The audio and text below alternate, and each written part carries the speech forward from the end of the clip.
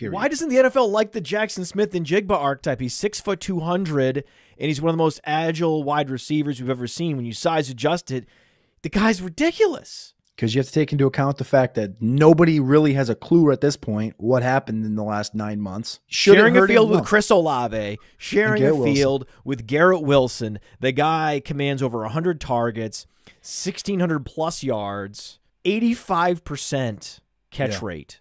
And we're not falling over ourselves to get this guy, especially knowing how valuable the wide receiver position is. What if I told you he had an 89% slot rate?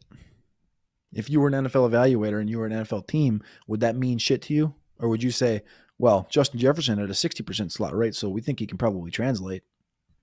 An NFL team might think that this is a one dimensional slot receiver incorrectly. Correct. That's what's happening.